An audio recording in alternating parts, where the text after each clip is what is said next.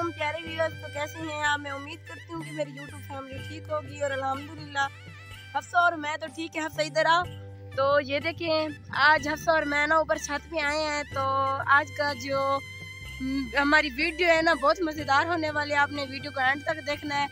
मज़ेदार भी होने वाली है लेकिन मैं ना बहुत ज़्यादा परेशान हूँ क्योंकि मेरे पास पैसे नहीं है ना। तो इसलिए आपको बताती हूँ तो सबसे पहले ना ये देखिए, छत पे आए ना तो माशाल्लाह पाक ने ना हवा बहुत अच्छी चलाई हुई है ठंडी ठंडी हवा है। ये देखें, ये पीछे जो दरख्त है ना, ये भी हवा की वजह से ना हिल रहे हैं, माशाल्लाह, मुझे तो बहुत प्यारे लगते हैं जब ये दरख्त हिलते हैं ना, हवा की वजह से। तो वीवर्स मैंने सोचा कि अपने वीवर्स को ना ऊपर का व्यू भी दिखा दूँ, और जो बातें हैं ना, वो भी कर लूँ। तो वीवर्स परेशान इसलिए हूँ, क्योंकि मेरी आज दोस्त की बचपन की दोस्त है तो उसकी ना आज मेहंदी है।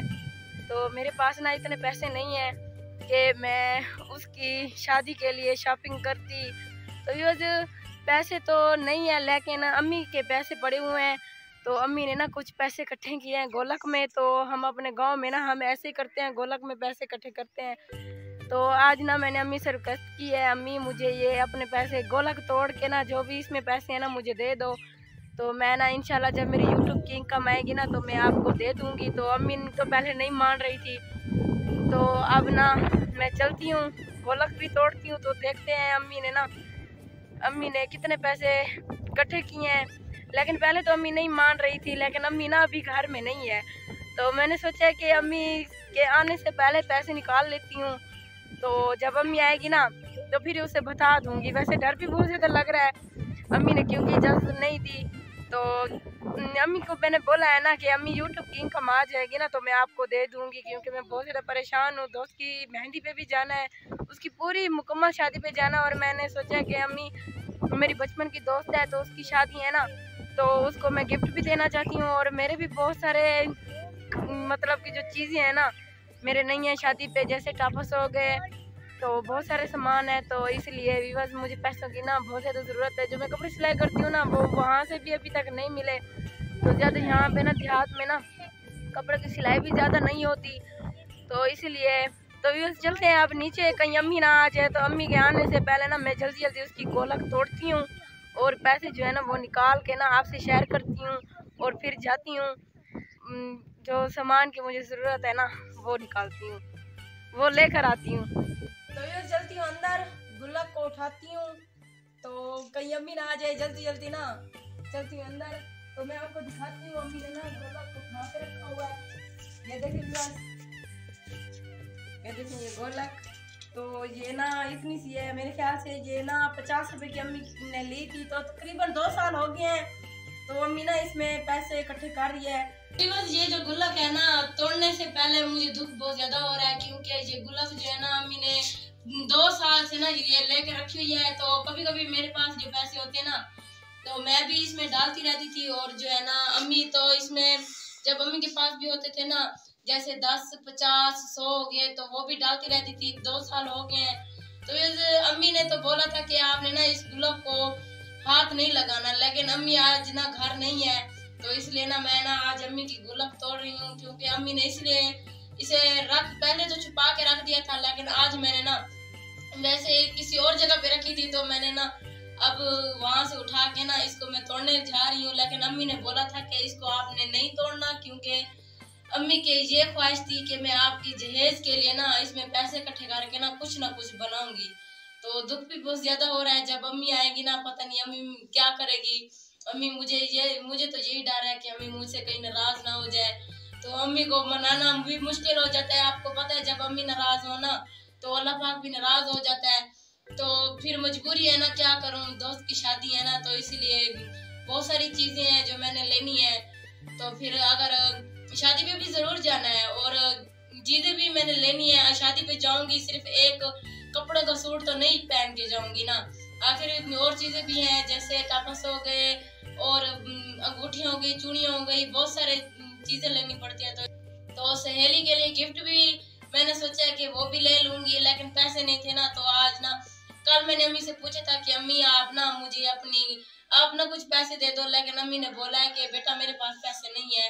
तो मैंने ना अम्मी को इस गोलक का नाम बोला है कि अम्मी आपकी गोलक पड़ी हुई ना वो तोड़ देती है। लेकिन अम्मी ने ना मुझे मना किया अम्मी कह रही है नहीं अब जो है ना मुझे तो लग रहा है कि अम्मी मुझे कहीं डंडे से ना मारे।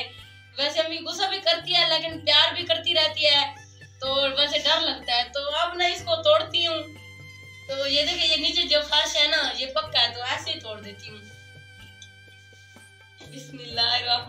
वैसे डर बहुत ज़्यादा लग रहा है। तो ये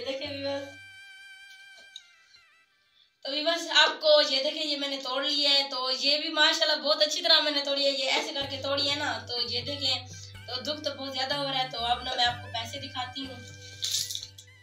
ये देखिए विवास ये देखें कितने से पैसे हैं। तो दो साल हो गए हैं इन पैसों को इकट्ठा करते करते तो इतने हुए हैं। तो ये ना सारे इकट्ठे करके ना आपको गिन के बताती हूँ कि ये कितने पैसे हैं। आप ये क्या कीती बेटी अम्मी ने नाराज़ थे। चेक करा पैसे जो क्या नहीं। चलो को माफ़ी मांग दी सो चले जमा पैसे हम गिन के देखिए करूँ अम्मी भरे सी है तू अम्मी को ना डिसावे ठीक है हैं पाई करे ने ए सीमेंट के ना ये वापसी में बंद करके रख दी तो ये देखिए विवाद इतने से पैसे हैं तो सिस्टर तो बोल रही है कि अम्मी जब आएगी ना अम्मी बोले तो नाराज़ होगी तो फिर क्या करूँ मजबूरी थी ना तो ये मैं तो ऐसा करती हूँ ये आप ही से बोलती हूँ आप ही हम ना ऐसे करेंगे, ये जो गोलक है ना, ये इसको ना हम ऐसे तो सीमेंट ऐसे लगा देंगे। तो फिर सीमेंट, आप ही तो पागल है, सीमेंट मैं क्या पता मिट्टी दे दा मैं, अभी शायद एल्फी लग गई थी वो जैसे आप टूट गया ना वालों को एल्फी लेने हैं जरा तो बस मेरी सिस्टर ना उर्दू नहीं बोल सकती ना तो इसलिए मुझे भी इसके साथ सराकी बोलनी पड़ गई है। तो अगर आपको बुरा लगा तो प्लीज़ मुझे माफ़ कर देना। तो ये देखिए, पैसे, ये जो छोटे छोटे पैसे है ना, ये भी मैंने ही डाले थे। अम्मी को बोला था कि ये भी साथ में डाल दो। तो जितने थोड़े बहुत मेरे पास पैसे होते हैं ना तो मैं ना ऐसे अम्मी को दे देती थी। तो इवन मैं ना आपको गिन के दिखाती हूँ कि ये कितने पैसे हैं। ये देखें, एक, ये दो, ये हज़ार हो गया। और ये सौ सौ वाले एक दो तीन चार और पाँच। ये कितने हो गए? आप बताओ ना। कितने हो गए? पंद्रह। हाँ पंद्रह सौ हो गए। और ये देखें ये पचास वाले एक दो तीन ये चार। अब कितने हो गए? तो बस ये देखिए ये ना पैसे आपने कमेंट में ज़रूर बताना है कि ये मैंने कितने पैसे उठाए हुए हैं। तो आपने मेरी आपने ज़रूर बताना आपको दिखा देती हूँ। ये देखिए, ये दो पाँच सौ वाले और ये देखें, ये जो है ना पाँच सौ वाले और ये पचास वाले और ये ये जो है ना दस हो गए, बीस वाले और ये देखें, ये भी हो गए, तकरीबन ये भी बीस हो गए, दस दस वाले। तो आपने ना मुझे कमेंट में ज़रूर बताना है कि ये कितने पैसे थे, लेकिन मुझे ना ज़्यादा इनकी ना गिनती करनी नहीं आती। तो देर लगेगी अगर मैं ज़्यादा देर इन्हें गिनती रहूँगी ना तो एक एक वैसा उठा के ना फिर गिनती रहूँगी। तो आपने कमेंट में मुझे ज़रूर बताना है कि आपने अंदाज़ा लगाना है कि ये कितने पैसे होंगे। तो ये ना दो साल की हमारी कंजूसी कर करके ना इतने से हमने अम्मी ने और मैंने पैसे इकट्ठे किए हैं। तो कुछ नीचे भी पड़े हुए हैं ये देखें ये एक रुपए वाले और दो रुपए वाले और पाँच रुपए वाले। तो इनसे तो काम नहीं बनने वाला ये देखिए ये एक एक रुपए वाले। तो ज़्यादा ना, एक एक रुपए वाले हैं। ये देखिए, आप देख सकते हैं। दो तीन है, जो दो दो वाले हैं। एक, दो, तीन और चार हो गए। चार, पाँच, छह हो गए। और ज़्यादा ना, एक एक रुपए वाले और पाँच वाले भी इतने हैं तो इनसे तो काम नहीं होने वाला तो इन्हीं का कुछ करती हूँ। तभी बस मैं ना ऐसे करती हूँ, ये वाले, ये हज़ार रुपया जो है ना, ये मैं रख लेती हूँ, क्योंकि इसी से मैं अपना काम चलाऊँगी और ये जो है ना, दोबारा इसके अंदर डाल के ना, इसको अच्छी तरह से बंद कर देती हूँ। तो क्योंकि मुझे सिर्फ़ इतने ही ज़रूरत थे। अम्मी के पास इतने नहीं थे तो इसके अंदर पड़े हुए थे। तो ये ना मैं बस यही ले लेती हूँ, जब जितनी यूट्यूब की मेरी इनकम आएगी ना इनशाला मैं अपनी अम्मी को ज़रूर वापस कर दूँगी। तो अगर आप मेरी सपोर्ट करेंगे तो मैं अम्मी को वापस कर पाऊँगी, लेकिन फिर वरना मैं नहीं कर पाऊँगी। तो आज की वीडियो को तो यहीं पे एंड करते हैं। नेक्स्ट वीडियो में मिलेंगे। तो आपने ना कमेंट में ज़रूर बताना कि ये कितने पैसे थे, अंदाज़ा लगा के। तो अल्लाह हाफिज।